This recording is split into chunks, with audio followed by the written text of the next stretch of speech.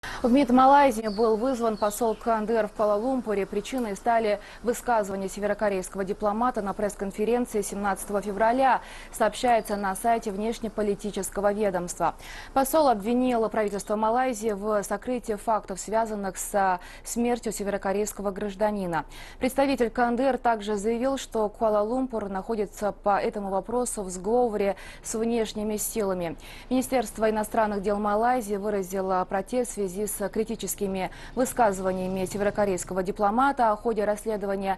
Сообщается также о временном отзыве малазийского посла из Пхеньяна для консультации.